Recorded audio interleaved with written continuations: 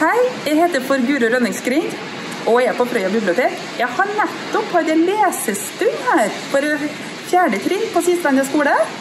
Og da har jeg lest i denne boka. En bok av Anne Sverdrup Tygeson som heter 'Insektenes hemmeligheter'. Den er veldig fint skrevet. Og om du er nysgjerrig på insekter, så gir den òg veldig mye interessant informasjon. I tillegg får vi høre om sånne ting som vi kanskje tenker er nesten litt for utrolig til å være sant. F.eks. som zombiebiller. Les nå et lite utdrag. Andre ganger kan et insekt gjøre et annet insekt til en slags zombie. I USA finnes en liten veps som legger eggene sine i levende marihøner. Vepselarven spiser på marihøna fra innsiden.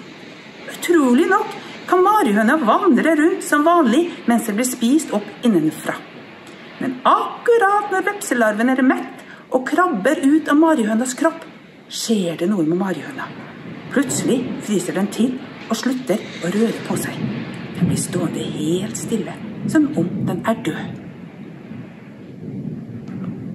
Jeg tror det slutter der, jeg. Her. Den her kan godt leses av både voksne og barn. Thank you.